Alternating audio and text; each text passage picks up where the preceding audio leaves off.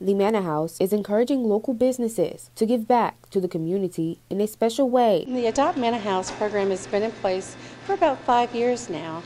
And so just think if we had one person every day adopting Manna House, we could give back to our community. In this year alone, they've provided a warm meal for nearly 300 families each day. We never close our doors. We're always here for any and all who are hungry.